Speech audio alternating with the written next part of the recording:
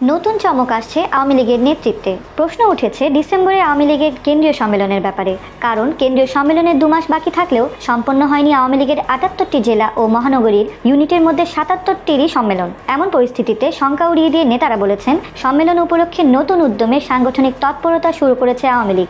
এবারে সম্মেলনে নতুন নেতৃত্ব আসছে বলেও ইঙ্গিত দেন তারা। আগামী দশ ডিসেম্বরের মধ্যে মেয়াদ উত্তীর্ণ সব কমিটির সম্মেলন সম্পন্ন করতেও নির্দেশ দিয়েছে হাইকমান্ড।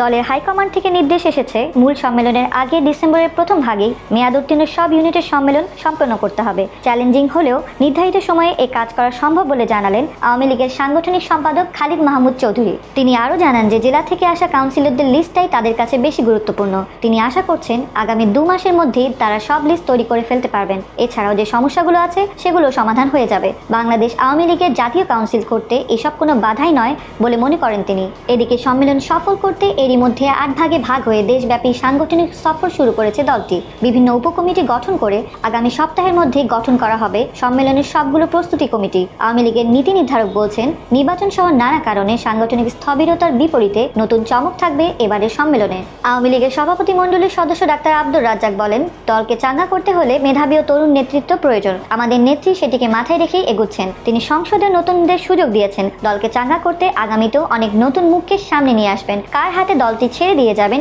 এটি এখন নেতৃত্ব চাওয়া। এদিকে কমিটির মেয়াদ শেষ হওয়ায় অক্টোবরে সম্মেলন হওয়ার কথা থাকলেও ডিসেম্বরের একুশ থেকে বাইশ তারিখ কাউন্সিলের সিদ্ধান্ত নেয় আওয়ামী লীগের কেন্দ্রীয় কার্যনির্বাহী সংসদ। চ্যানেলটি ভালো লাগলে সাবস্ক্রাইব করুন এবং পাশে রাখা বেল আইকনটি প্রেস করুন। আল্লাহ হাফেজ।